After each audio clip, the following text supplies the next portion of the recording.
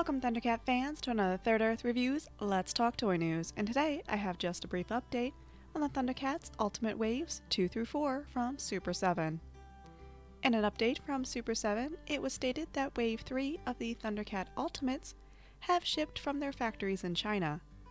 Normally this would take about a month to arrive in the States, but due to the ongoing global shipping issues, this time frame has increased to about 60 days in transit and even after it arrives at the docks, it still could be several weeks before the figures are taken off the ships.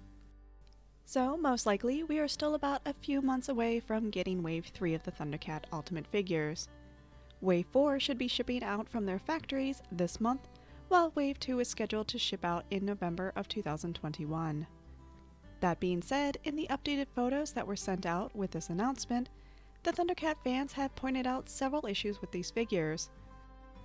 Some of these issues include Cheetara's hips still not being fixed despite Super 7 saying they would be fixed on the final figure, as well as Tygra's coloring and his right arm being incorrect, Mumm-Ra the Ever Living arms appearing to be backwards, Lynx-O having some strange body proportions, and Slithe's belt coloring being incorrect.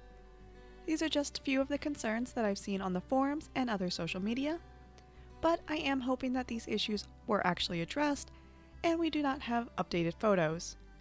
It should be noted that according to these updated photos, Wave 4 does not appear to be in a stage where the figures can actually be shipped this month, since they're not even painted.